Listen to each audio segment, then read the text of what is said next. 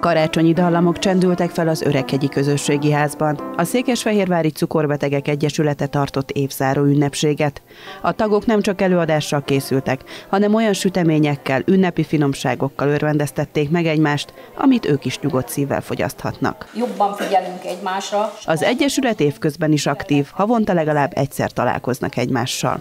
Rendszeresen tartunk orvosi, tartunk, hívunk orvosi előadókat, szakasszisztenseket, akkor tanulunk főzni, szénhidrátokat számolni, ugye ez nagyon fontos az Egyesületünk tagjainak, kirándulunk, sportolunk, tehát egy aktív kis részvétel van a, az Egyesületünkben. Az évzáró eseményen megtartották a soros közgyűlésüket is, melynek központi témája a székhelyváltás volt. Januártól a fürdősor 3-as szám alatti épületben lesz a szervezet székhelye, de az összejöveteleknek továbbra is az Öreghegyi Közösségi Ház adott hont.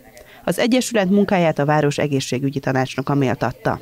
Ők azok, akik egymást segítik, akik mindenben egymást támaszai, azonosak a problémáik, együtt kereshetik a megoldásokat, úgyhogy Székesfehérvárnak nagyon fontos, és a cukorbetegek egy nagyon régi egyesület. Amikor 2010-ben az egészségfejlesztési tervről elgondolkodtunk, és 2011-ben elindítottuk, akkor nekünk is nagy szerepünk volt abban, hogy az addig alvó cukorbeteg egyesületet fölélesszük.